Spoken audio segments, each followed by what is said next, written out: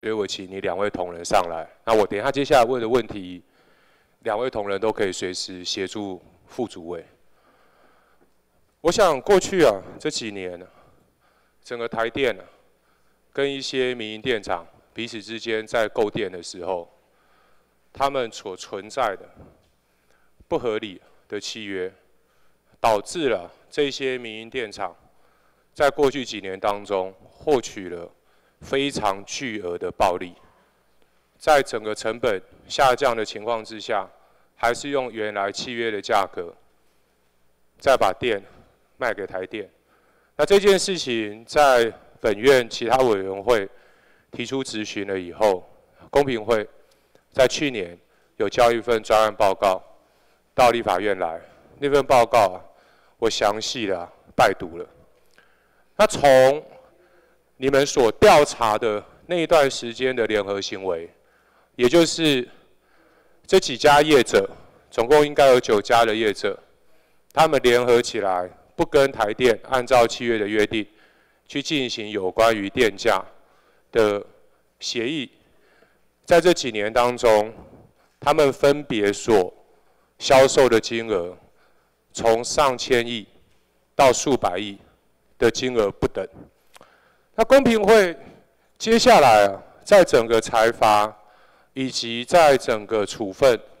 目前所进行啊的阶段呢，让我对于几件事情呢有一些困惑。我可能要请教一下副主委啊，还有两位同仁，你们在第二次的行政处分的时候，第一次诉愿把原处分撤销，你们做了第二次的处分的时候，你们在第二次的处分的时候啊，你说考量这九家民营电厂。在你们进行调查的时候，已经立即停止共同拒绝与台电进行协商的行为，具有竣毁的实据，也配合调查，然后达成以为损害的补救措施等一切情状，啊，等等等等等。那所以你们除了就旧法的时期把它裁减、罚还之外，那另外就有俊毁实据配合调查，各减除三分之二或三分之一的额度啊。予以论处，就是先扣了两千五百万，再扣五百万。但是在你们接下来的整个行政诉讼的程序当中啊，行政诉讼相关的判决书我全部看完了。我看那些业者他们在行政诉讼当中，还是提出各式各样莫名其妙的理由在在争执这件事情。那我比较好奇的是，你们所认定有竣毁实据指的是什么？到底是哪一家业者有什么样子的竣毁实据？让你们作为这个发还裁减的事由。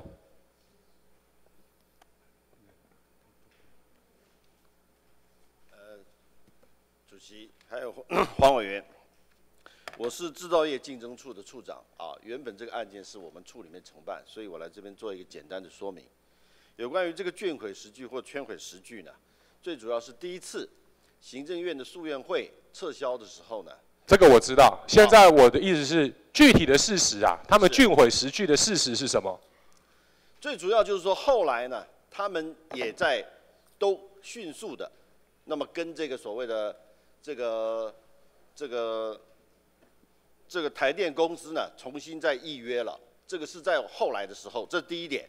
第二点呢，我们后来查到相关市政以后呢，他们在这个卷这个卷里面，原则上也都没有否认。这些所谓他们进行的，等一下哦，我们一家一家来哦。现在这里从麦寮电器厂一直到新源，这九家工厂，这九家公司有竣毁实据的，你讲的是哪一家？也有在行政诉讼的判决相关的判决里面，看到法院的判决书在援引他们抗辩的理由的时候，其实我看不出来他们有什么俊毁实据啊。在接下来的行政诉讼过程当中，针对你们最后所做的处分，有任何一家业者没有提起行政争讼吗？行政争讼应该是全部都都有提，全部都有提行政争讼吗？是的，是的。那在行政争讼的程序当中，他们不是还是继续的说他们没有任何联合行为吗？不是啊，我现在好奇的就是这个竣毁十句指的到底是什么？这个部分呢，我们最主要是说，也一方面特别考量他在我们处分之后，处分之后呢，啊，跟处分之前那个时候已经要几乎要完成跟台电的这个议约，那后来呢，他们就完全都完成议约了。全部九家全部都针对有关于构架的成本要如何调整，全部都调整完了，你确定吗？就是跟台电又重新达成了预约的这样的一个的的。没有啊，你现在是讲的是你有没有去协商的事实嘛？那最后我们还是要看说台电是不是按照本来原来的契约价和不合理的在高价收购的那些电价嘛？那那个都是在后来所发生的事情。但是我现在要跟你讲的事情是说，当初你们在做哦这样子的认定的时候，其实我看到了俊毁实据跟我在行政法院所看到的判决书。我的感受对比啊，非常非常的强烈。下一步啊，是你们第二次财罚的时候，个别财罚的这些金额，总共是六十点五亿元嘛。后来你们做了这个财罚了以后，行政院诉愿委员会针对了你们这一次的财罚，又做了撤销的处分。对于行政院这一次诉愿委员会的决定，你们服不服气？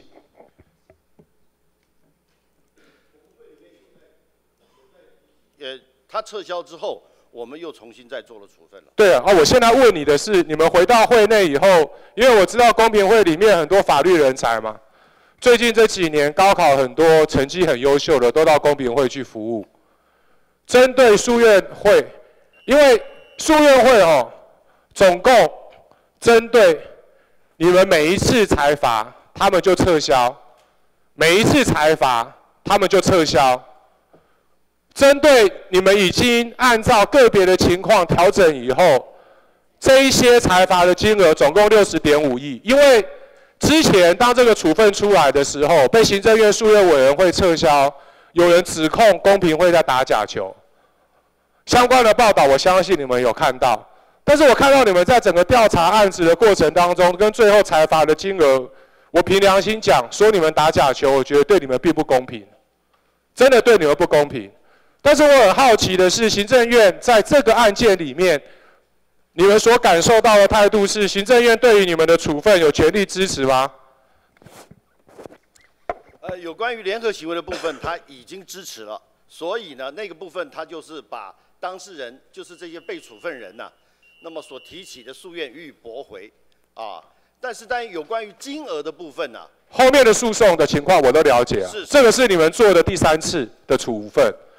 我大概你们，我从你们裁剪的数额可以看得出来啊，你们对于行政院那一次诉愿委员会的决定是非常不服气啊。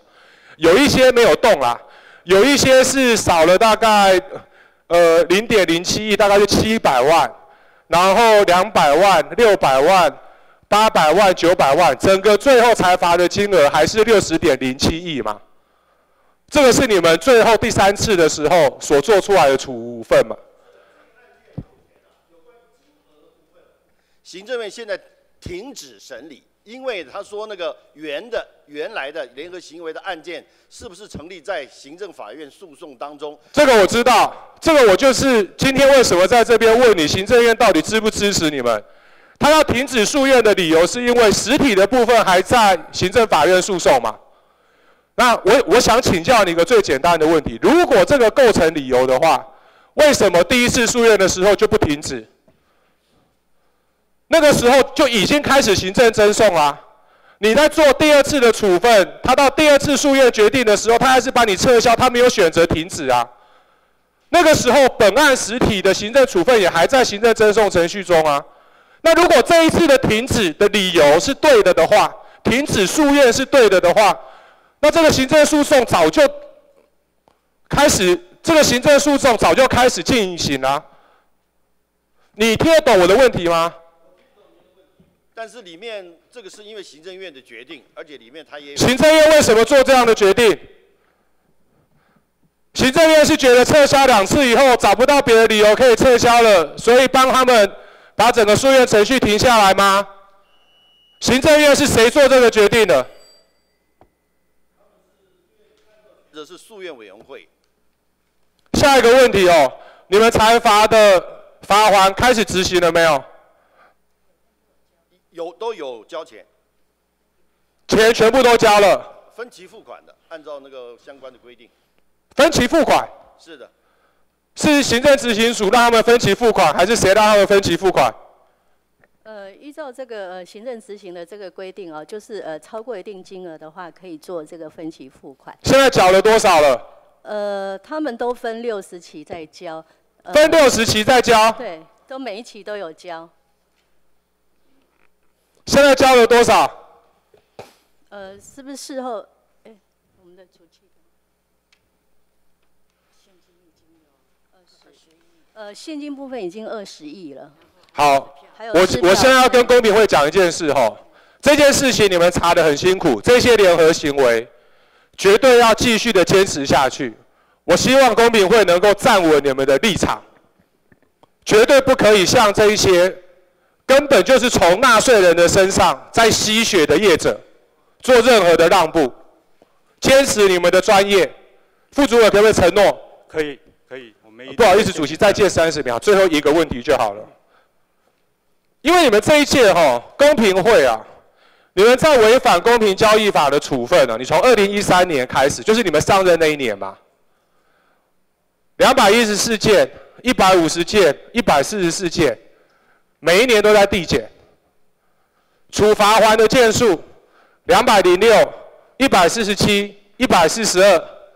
加数三百一十三家、两百零四家、一百九十二家，每一年全部都在递减。那这个数字代表的是什么？代表的是我们目前台湾的经济市场不公平竞争的情况越来越少了，是值得可喜的现象，还是我们主管机关的查获率降低了？副主委，您的意见是什么？我我想，因为每一年哈那个案件来讲的话，情况不是都很像了哈。不过我们基本上就是说，我们对于啊整个的查处等等来讲的话，我们是还是很积极的哈，在在运行哈，在在做哈。那事实上，我们也开始哈多多做一点先导哈，让我们在未来在查核的模式里面会越来越哈呃数据。这届公平会的任期哈，到明年一月左右嘛。对一页走。啊，我接希望副主委还有全体公民会的委员们，看到了这个数字以后，问自己一个问题：是我们的整个经济市场发生违反公平交易法的行为变少，然后整个公平竞争的秩序提升，还是在查获的时候，在查获率降低？这个我没有办法帮你们回答，但是我看到数字，我提出这样子一个合理的问题，所以请公平会的委员们，还有所有的同仁们，大家一起加油。那第二个部分，如果说你们在查气上面人力不足、资源不够，该说的就要说，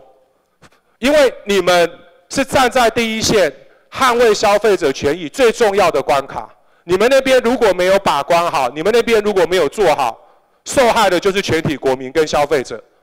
从这整个电力的事情，我们就可以清楚的看得出来。当然还有其他的事例，所以我一方面肯定公平会的在这一次电力联合行为查处的行为上面你们的努力，但是另外一方面我也提出这样的数据，那请公平会的同仁再继续加油，好不好？好，谢谢谢谢委员，谢谢委员。接下来我们请吴炳瑞委员咨询，吴委员请。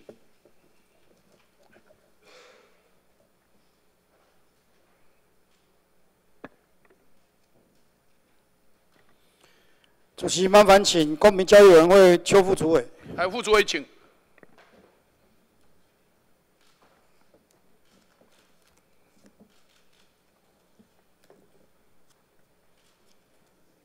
啊，委员好。副主委，刚刚我有听到审计长的报告哈，那我先跟你请教一下，这个一百零四年度了哈，那因为他刚刚的那个报告结算跟这个税入跟税出都是一百零三年度，一百零四年度公平会对于这个违反公平交易法还有多层次传销管理法的罚罚款的金额啊，件数总共多少？